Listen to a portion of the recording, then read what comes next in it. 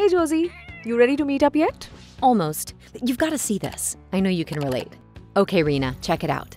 This guy I was telling you about, he applied to almost 500 jobs. Look at the chart he made. Wait, that's mind blowing. So, how many offers did he get? Only one. Wow, that's it. But that's not even the worst part. 50% of his applications were completely ignored. Not even a confirmation. That's what, 250 companies? That's awful. They couldn't even take the time to acknowledge his existence?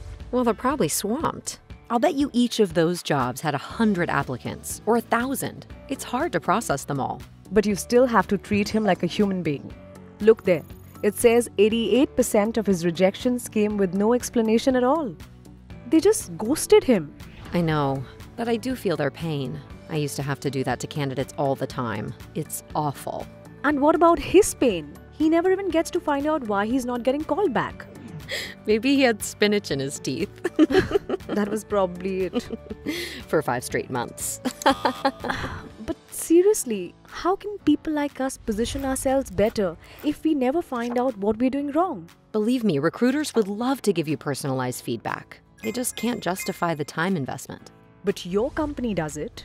Yeah, we do it. How? Because we started using the right software. It changed everything. Now we have a great application experience. We know the right questions to ask. We have the AI that helps us shortlist the best candidates. And every candidate gets personalized feedback after they apply, automatically, right away. It matters. How you treat us when we are applying is our first taste of how you'll treat us as employees. Absolutely. And all that information flows into one dashboard. Honestly, this solution literally cuts our work in half. That sounds amazing. They must love you there. They do love me here. So, are we still going out or what? Hey, I'm waiting on you. I finished work about two hours ago.